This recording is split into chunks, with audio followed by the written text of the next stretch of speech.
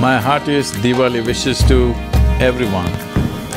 The significance of this festival of Deepavali is that we bring a new clarity within us.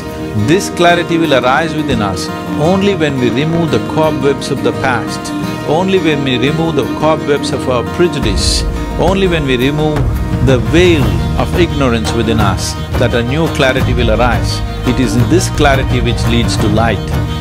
On this Deepavali, may you arise into a new level of clarity and vision. Let there be light in your life.